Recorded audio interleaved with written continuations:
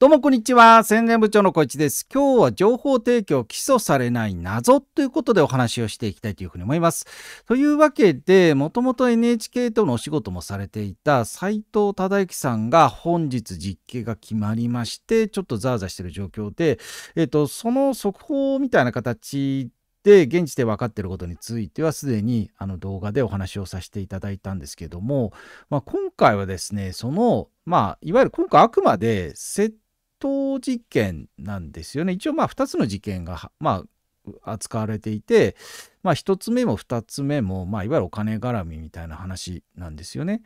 であの我々がというか多くの人が気にしてるのはいわゆる大津さん側の方に斉藤さんが情報提供しましたよねと。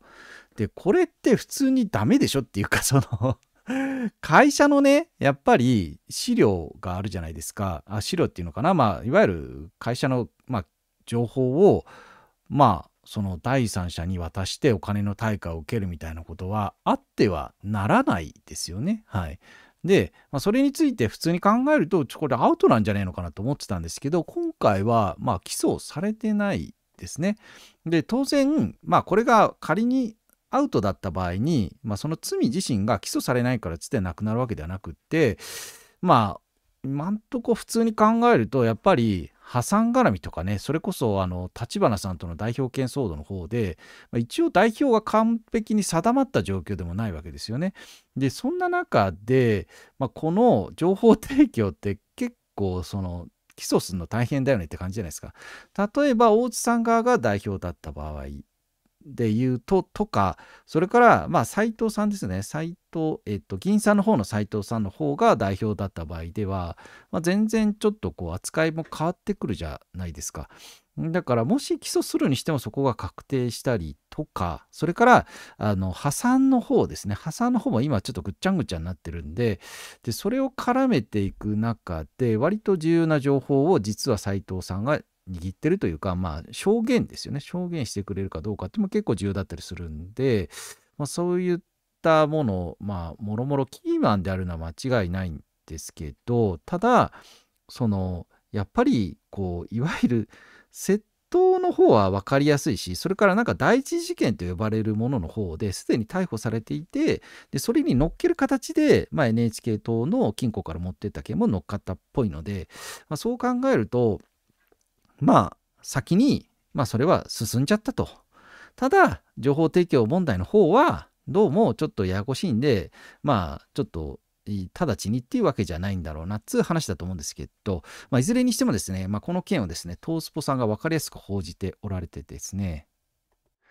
はい。で、こちらですね、トースポさんの記事で、お家騒動からついに実刑判決、NHK 党の金庫から現金盗んだ党元党員に懲役1年8ヶ月。というタイトルなんですよね。これがね、本当にあの素晴らしいタイトルでありまして、これからちょっと解説していくんですけど、まあ、今まではね、正直ね、ほら、のどぐろみたいな形で、その、まあ、いわゆるいじってきたとこもあるわけじゃないですか。だから、まあ、そういうのをいじるかと思いきやですね、なんと真面目に、えー、っとですね、お家騒動からついに実刑判決ということで、要は、このずっと膠着していたお家騒動っですね。で、しかも、この、えー、っとですね、この間、大津さんがお家騒動と思われてるかもしれませんが、なんちゃらかんちゃらって書いてたんですけど、それに対しての、なんかこう あの、打ち返しにも見えるって感じで、えっ、ー、と、まあ、とにかくその、お家騒動からついに実刑判決ということで、なんか動いたぞっていう、動いたぞっていう風になっていて、で、そしてさらに NHK 党の金庫から現金盗んだ元党員にってあるんですけど、その、やっぱね、元 NHK 党職員とかね、元 NHK 党の人が、まあ、いわゆる窃盗をして懲役1年8ヶ月とかだったりすると、なんか NHK っていうタイトルにしちゃうとですよ、なんか NHK 党が悪いことしたのかなみたいな風に映るんですけど、ちゃんとですね、NHK 党の金庫から現金盗んだってことで、これで NHK 党側が被害者ですよね。で、被害者なんだけど、元党員が、まあまあ盗んだってことでどういうことかな。そして懲役1年8ヶ月という形でね、まあ、非常に素晴らしく、あの、なんだ、素晴らしいタイトルだなと私は勝手に思ったんですけど、で、ちなみにですけど、はい、こちらですね、もともとの、えっと、騒動、一番最初の記事、これですよ。えっと、大津やか陣営に駆け込んだ男がお家騒動全暴露と違約金300万、のどぐろごちこに10万円みたいな、そのいう感じで かなりいじりに来ていたっていうところがあって、で、その後もですね、えー、っとですね、これですね、えー、っと、大津やかし、のどぐろおごるも秘密保持契約を破った元 N, と N 国党員に解除通告みたいな感じで、ま、基本的にはいじってたはずなんですけど、まあさすがにね、今回の件はま実験も出てるし、まあそういったまあいじりはまタイトルでやるのはちょっと厳しいということで、まあこういったタイトルになったんじゃないかと推察しますと。はい。で、その上でですね、えっ、ー、と、みんなで作る党のお家騒動に関連し、ついに実刑判決が出る事態となったと。で東京地裁は11日窃盗の罪に問われた政治団体内部告発者を守る会代表の斉藤忠之被告に懲役1年8ヶ月の実刑判決を言い渡したって感じでね、はい、だからま正直私はこれは厳しいなって思ってだからあの情報提供みたいなやつも入ってんのかと思ったんですけどねなんと入ってませんみたいな。はい、でそして、えー、同被告は今年3月に勤務していた会社から金品を盗んで逮捕されていた中ってあるんで、おそらくこれが第一事件と呼ばれるもので、これ知らなかったですね、私。あの、まあなんか、なんか別のがあるよみたいな話は分かってたんですけど、まあ明確には分かってなくて、だからまあそもそも、まあ今年3月に勤務していた会社から盗んじゃったんで逮捕されましたということですね。はい。でそして昨年10月に参議院会館にある NHK との開発の金庫から現金約27万枚を盗んだ疑いでも再逮捕されていたっていうとこですかね。だこれはもともと被害届出していたと思われるんですよね。でその中で本人が認めたのか何か証拠を突きつけたのか分かんないんですけどもだからこれも本人が認めたバージョンとやっぱりあの警察の捜査によって分かったバージョンでは、まあ、その辺も、まあ、罪の信者なんて言うんでしょうねにかかってくるんじゃないかと思うんですけどね。はいまあ、とにかく再逮捕されたっていう感じでちなみにですけどその情報提供っていうのが一応この会話ですごい話題になってその時にライブに出ていたりいろんなとこにお話しされてましたけどこの件についてはまあその窃盗の件に関しては否定してたんですよね当時ね。でも結局はあの盗んでたと。いうことですね。はい。はい、で同被告は NHK の集金業務を委託されていた会社の元社員で2021年に集金業務のずさんな実態を告発と。だから、まあ、そこで大変な思いをされたんでしょうね。だから内部告発者を守る会ということですかね。まあ、それ以降、おそらく立花さんの、まあ、お手伝いみたいなことをされていたと。で、えー、同年、衆 in 北海道2区補選を皮切りに NHK と公認候補で立候補するなど活動していたと。で、昨年3月の立花氏と大津氏の間で起きたお家騒動で同被告は旧政情党から支払われていた月30万の業務委託費が昨年9月に止まったことで金策に奔走と。だから、まあ、これ正確に言うと3月までもらってて4月から止まってるんですよね。それは止めたのは誰かっていうと大津彩香さんですよね。まあ、これ非常に問題ですね。まあ、彼だけではないですからね。後に破産管財人の方から給料が認められて支払われるに至ったわけなんですけども、まあ、同じようなことが起きてっても仕方ないっていうんですかね。それお金入ってこなかったらどうしようもないじゃないですかね。はい。まあ、っていうところで、えっ、ー、と、で、党や立花氏の会社の預金通帳のコピーやデータを大津氏側に提供し民宿党から業務委託費名目で約70万円の報酬を受け取っていたことや大津氏からのどぐろごちそうになっていたことは貸していたかということで でやっぱりこれちょっと我慢できずに入れてきたんじゃないかなと思うんですけどさすがにやっぱりのどぐろは出してきたっていうまあ 感じですかね、まあ、一応文章としては、まあ、食事をごちそうになったでいいわけですからのどのどぐろ入れる必要はないですからね。はい。まあ分かりやすいですけどね。まあとにかくですね、えー、っと、大津さん側からもお金をゲットしたっていうことですよね。ででさらにこの通帳をコピーした際に金庫にあった現金を盗んでいたことになるということでだからあちこちからお金をまあ正直かき集めちゃってる状況になっていてでそれをねまあご家族もいるし、まあ、生活費に回ったのかもしれませんがまあね、なんとかなんなかったのかなと思いますよね。まあ、それこそ立花さんがいろいろ言っている生活保護とかをもらいながらうまくしのいで次とかっていうのもあったと思うんですけど、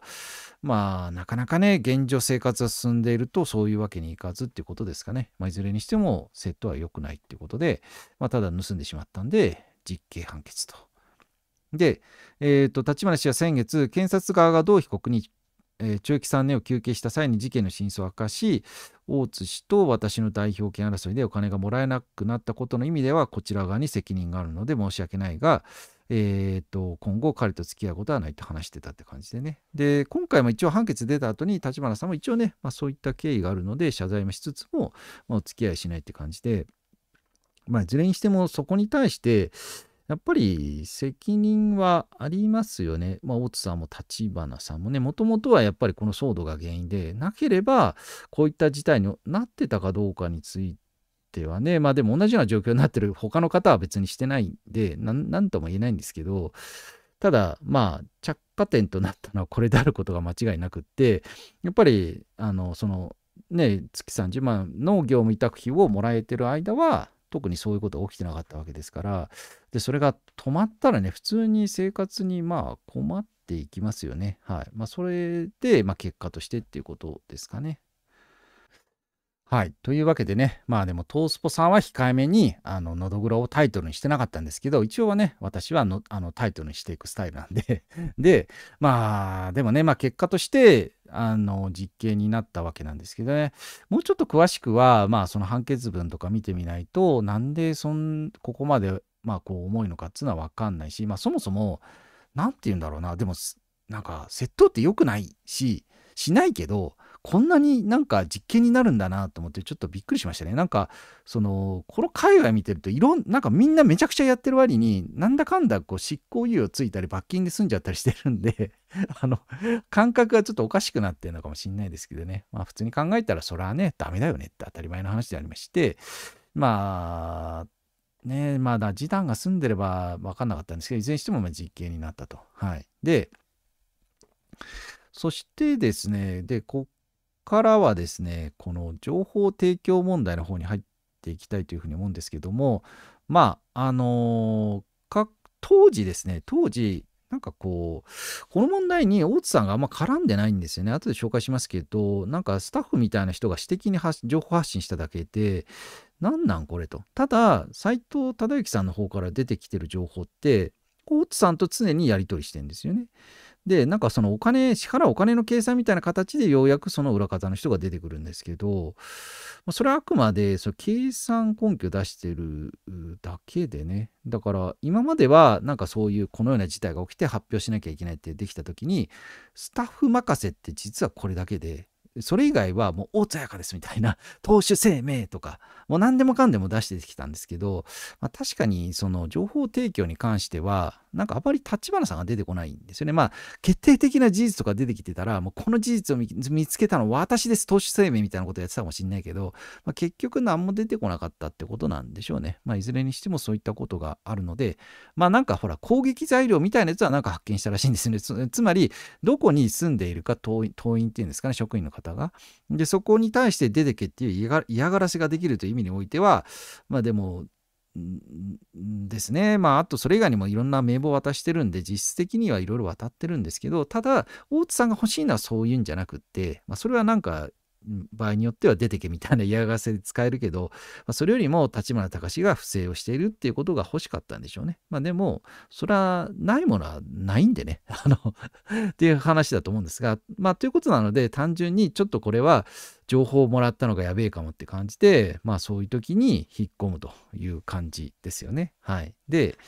えっ、ー、と、はい。で、先ほどのね、トースポさんの記事に対してのリプでですね、こちらのセレブレート02さんですかね、が、斎藤忠之氏はみんなで作る党から対価を得ていたみたいなものを出していて、これですね、先ほどお話ししたのは。はい。で、大津さんからではなくて、2023年11月10日に藤原氏がですね、事務局の方が、しかも名字しか書いてない方が、まあ、これをさらっと出したと。はい。で、こちらちょっと若干大きくしてみたんですけど、斉藤忠之氏に対する委託費の支払いについてということで、2023年10月2日、党の元職員である斉藤氏と党首が面会と。で、斉藤氏から党の銀行口座に関する情報提供、立花元党首の不正に関する内部告発があった。不正に関してあったんですか？みたいな。早く出しなさいよみたいな。はい。で、えーと、斉藤氏は党首への連絡に先立ち、豊田弁護士に連絡し、直接党首にコンタクトする旨を相談ということですかね。で、えっ、ー、と、まあ、この時に、まあ、斉藤忠樹さん曰くですけども、まあ、要するに、立花さんの悪口言わないと受け入れてもらえないと思って、まあ、かなりそういう話をしたっていうことみたいですけどね。で、合わせて斉藤氏からは、これまでの勤務内容の報告とともに、えー、雇用契約と同様の勤務実態があり、雇用契約への変更を示唆されていたにもかかわらず、9月末の解雇の際には、えー、委託契約のままであったため、失業手当が受けられないとの訴えがあったということですね。はい。まあ、簡単に言うと、ちょっとお金もらえないんでってことですね。はい。で、党首ですね。ま大津さんは党の役職員の一部にこれらの事実を共有し、本島には内部通報者保護制度はないが、えー、ないんかい。えーと、それに準じた取り扱いする旨を確認ということですかね。まあいろいろ言ってますけど、情報くれるからありがとうみたいな感じじゃないですかね。あのはい。で、でえっ、ー、と、党としては、えっ、ー、と、えー、遡って委託契約を雇用契約に切り替えるなどの対応を行うことを検討したが、えー、と、その場合には内部告発の事実が旧執行部に明らかとなる疑念、ん？懸念が払拭できない？はい。まあ確かにそれはあれですかね。実際、大津さんの保険証でバレましたからね。なんでそっちはやらなかったって感じで。まあ、とにかく斉藤氏は過去の党務の、えー、実態把握についても協力的に情報提供を申していたと。でですかね。で、斎藤氏からの 情報は党にとっても有益であることから、まあ、以上のことを総合的に勘案し、斎藤氏には会計資料の内容確認その他の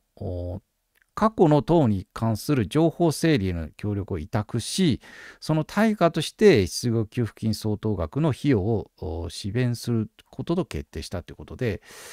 まあ、要するに、情報料払いますよってここで言っちゃってるんですよね。まあ、スタッフ資料ですけど、はい。で、当然、大津さんはこれに対して適当なもの出すんじゃないわよとかは言ってないわけで、これ承認してるに等しいですよね。えー、公に出されたものですよね、これね。で、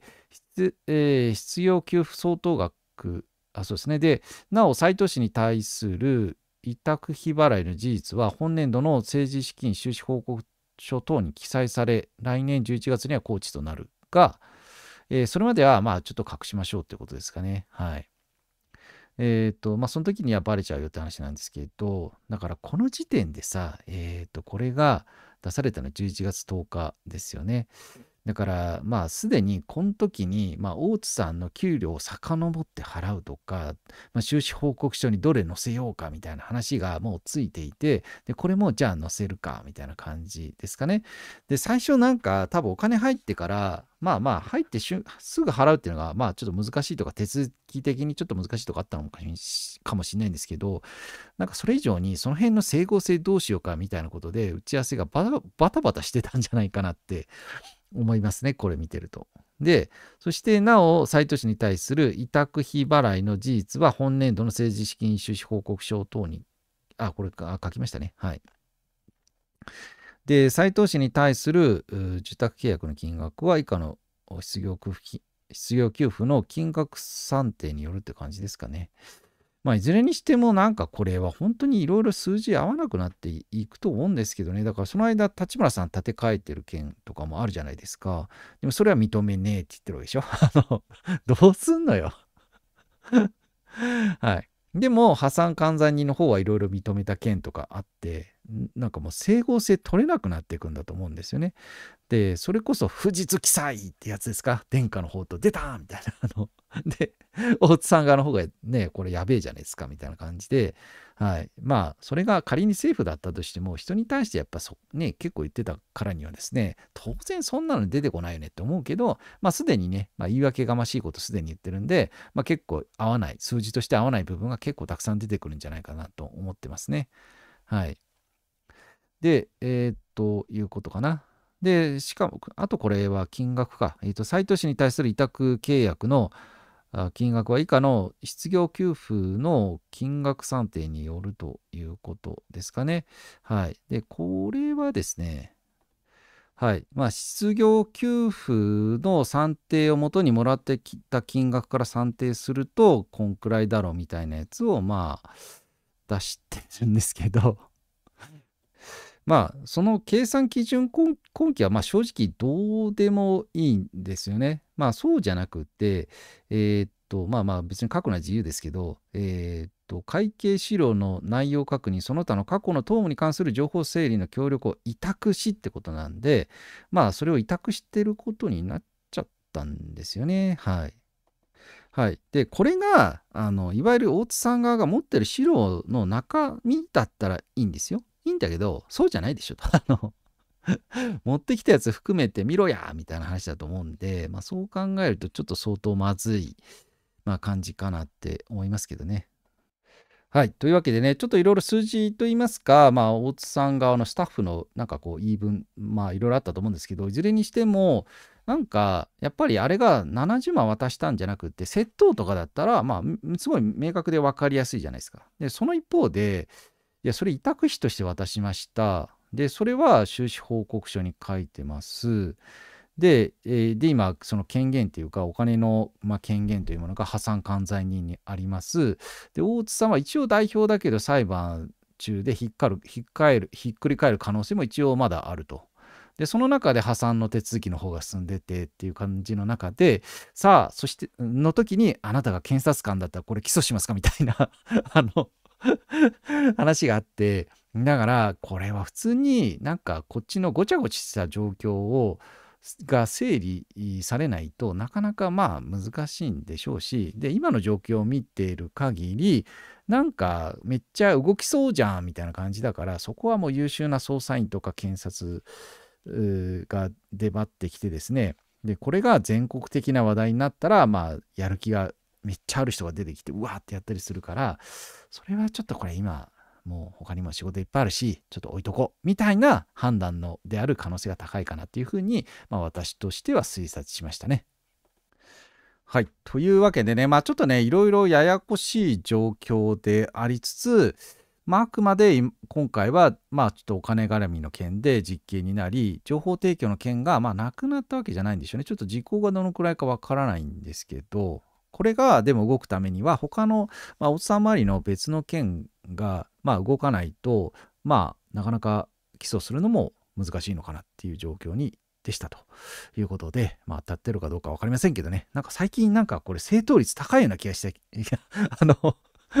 気がしてるんですけど、まあ、それはそれでちょっと怖かったりしますね。まあ、今回はだから外れてくれるといいなというふうに思います。以上です。ご視聴ありがとうございました。チャンネル登録もよろしくね。